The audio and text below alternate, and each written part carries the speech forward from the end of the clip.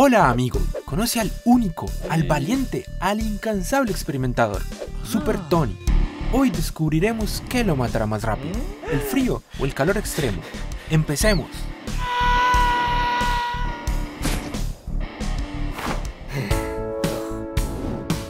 La temperatura en el Polo Sur puede descender hasta menos 58 grados centígrados.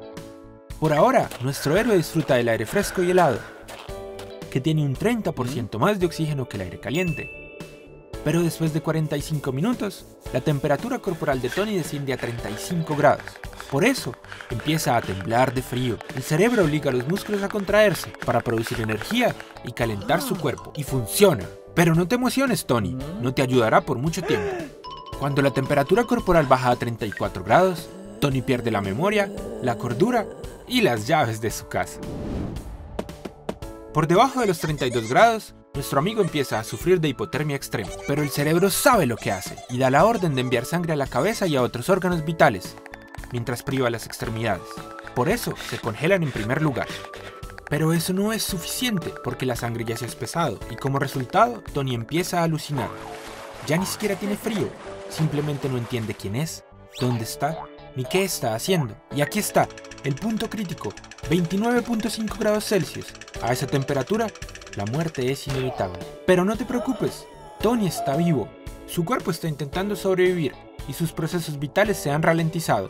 Tenemos que calentar a Tony cuanto antes, porque no somos monstruos y no queremos que nuestro amigo se haga daño. Ahora estamos en el caluroso desierto de Mojave, o como también se le conoce, el Valle de la Muerte. Aquí la temperatura del aire puede alcanzar los 55 grados centígrados. Por eso, la temperatura del cuerpo de nuestro héroe se eleva y como resultado, 3 millones de glándulas sudoríparas comienzan a liberar líquido activamente, enfriando el cuerpo. Ten cuidado, Tony. Puedes perder hasta 12 litros de agua al día en este lugar. Y junto con el sudor, Tony pierde sal, un elemento esencial para los procesos vitales. Ups, ahora Tony tiene náuseas, mareos y espasmos en las extremidades. Puede intentar enfriarse sacando la lengua, como hacen los gatos y los perros. Estos animales no tienen glándulas sudoríparas y se refrescan respirando activamente y sacando la lengua. Pero solo un oasis puede ayudar a Tony ahora. De lo contrario, habrá riesgo de daño orgánico terminal. Una condición en la que los órganos vitales casi hierven. Y si el cuerpo alcanza una temperatura de 43 grados, la muerte es inevitable. Bueno, ya basta. Deberíamos dejar de torturar a Tony. Queremos que esté con vida para el próximo video, ¿no? Y sin embargo, ¿qué lo matará más rápido? ¿El calor o el frío? Es una lástima, pero no lo hemos averiguado. Nos has decepcionado, Tony. Según las estadísticas, la gente muere de frío extremo 17 veces más que de calor, pero quién sabe. Nadie se va a poner al lado de la víctima con un cronómetro, ¿verdad?